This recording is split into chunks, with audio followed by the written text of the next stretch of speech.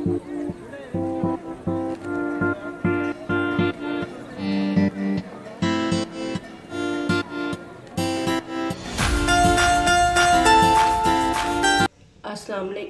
वालेकुम, कैसे हैं आप सब लोग? ठीक है? उम्मीद करती हूँ आप सब खैरियत से होंगे इन तो आज मैं आपको वेजिटेबल पकोड़ा की रेसिपी बताने लगी हूँ। और ये आगे से रमज़ान आ रहे हैं तो उस वक्त ये बनाए ऐसी चीज़ें तो बहुत टेस्टी लगती हैं और शौक से भी खाते हैं घर वाले सारे तकरीबन। तो चलें जी, इसके लिए जो चीज़ें चाहिए, ये पालक ली है मैंने थोड़ी सी और ये बंद गोभी ली है मैंने थोड़ी सी ये देखिए ऐसे मैंने काट लिया इसको। और ये आलू ले लिया मैंने। एक बड़ा आलू ले लिया था मैंने प्याज एक बड़ा। अब जो चीज़ें जाएँगी वो मसाला, मसाले जो जाएँगे वो मैं आपको बताती हूँ। चाट मसाला है वन टीस्पून और ये कॉर्न कॉर्न जाएँगे दो टेबलस्पून भर के। अगर आपके पास कॉर्न नहीं है तो आप गाजर डाल सकते हैं। एक गाजर लेके उसको आप कद्दूकश कर लें, वो डालें। अगर आपके पास ये नहीं है। हरी मिर्चें दो तीन और ज़ीरा थोड़ा सा, एक वन टेबल स्पून रेड मिर्चें हाफ़ टी स्पून और नारदाना वन टेबल स्पून के बराबर। और एक टिप आपको बताती हूँ कि दही वन टीस्पून डालें ना, किसी भी किस्म के पकौड़े हों और तरह के भी तो आप उसमें दही डालें तो बहुत अच्छे क्रिस्पी पकौड़े बनते हैं। और नमक हाफ़ टी स्पून अब मैं सारी चीज़ें ऐड करती हूँ और बेसन भी इसमें जाएगा।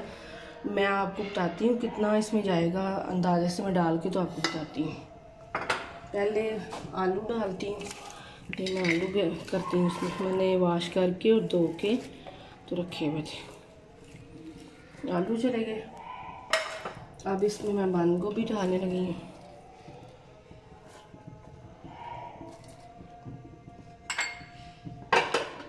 पालक जाएगी। पालक को भी आप अच्छी तरह धो के वाश करके फिर इस्तेमाल करें।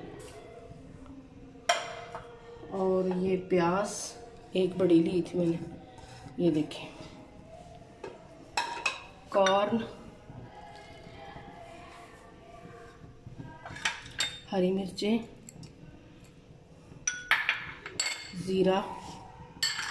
रेड मिर्चें। आप मसाले अपने टेस्ट के हिसाब से कम ज़्यादा कर सकते हैं। नारदाना दही। नमक। चाट मसाला हाफ़ टी स्पून।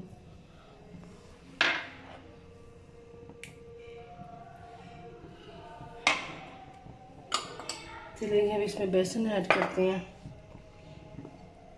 पहले मैं थोड़ा सा डालूँगी, ये एक कप भर के है। पहले मैं थोड़ा सा डालूँगी और पानी डालूँगी, थोड़ा थोड़ा थोड़ा पानी डाल के तो उसको मिक्स करते जाएँगे ऐसे।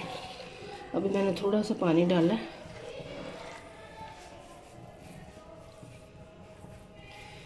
उधर मैंने ऑयल गरम करना रख दिया हुआ है, कढ़ाई में। अब मैं आपको बताती हूँ कि कितना बेसन इसमें जाएगा। वन कप मैंने लिया है भर के, लेकिन आपको बता देती हूँ, ज़्यादा भी नहीं डालना, फिर पकौड़े सही नहीं बनते। अब ये देखें जी, ये मैंने बना लिया। ये देखें, ऐसे होना चाहिए देखें। ऐसे। ना ज़्यादा बेसन है, ना इतना कम है। मीडियम है। अब मैं हाथ से छोटे छोटे पकौड़े निकालूँगी, चम्मच से नहीं, हाथ से आप निकालें तो बड़े क्रिस्पी बनेंगे। ये देखिए ऑयल हमारा गर्म हो गया। देखिए, और ये बड़े मज़े के लगते हैं टेस्टी होते हैं। आगे से रमज़ान आ रहे हैं तो ऐसी चीज़ें बड़े शौक से खाई जाती हैं। आप बनाना ट्राई ज़रूर करना।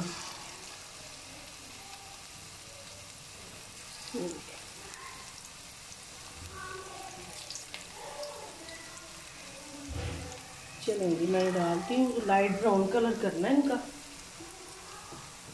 और एक साइड पे कुक होते हैं तो फिर मैं इसकी साइड चेंज करती हूँ। वो मैंने निकाल ली है, लाइट ब्राउन कलर हो गया इनका। अब मैं वो डाल रही हूँ, ये देखिए।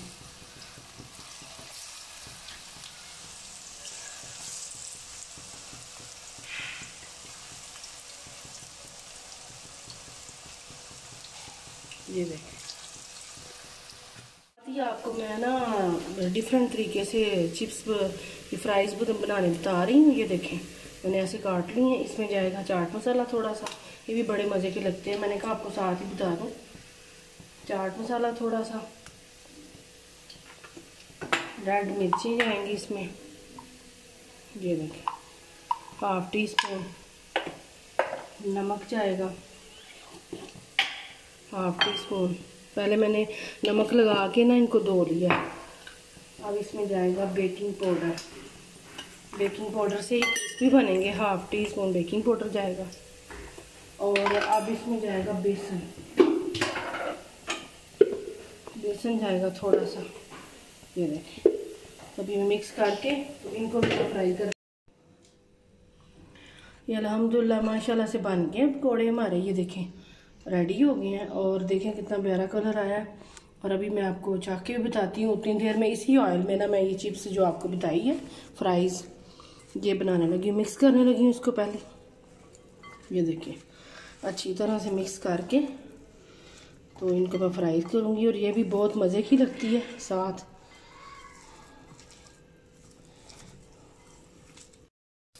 ये देखिए, मैं डाल दिया उसी ऑयल में। इस ऑयल में पकौड़े मैंने फ्राई किए हैं।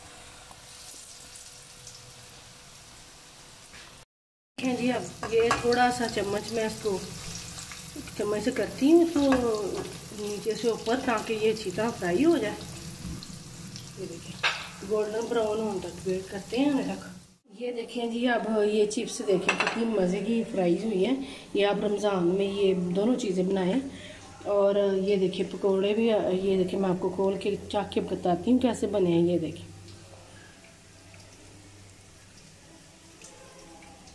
हाँ जी, बहुत मज़े के बने हैं, आप भी बनाना ये देखें। चले नहीं। आप भी बनाना और फीडबैक ज़रूर देना। और लाइक करें शेयर करें सब्सक्राइब करें मेरे चैनल को। और फैमिली फ्रेंड के साथ शेयर करें। और अल्लाह ताला आपको खुश रखे। और इसके साथ ही नेक्स्ट वीडियो में आपसे नई रेसिपी के साथ मुलाकात होगी, इंशाल्लाह। अपना ख्याल रखना। आपसे इजाज़त चाहती हूँ। अल्लाह हाफिज़।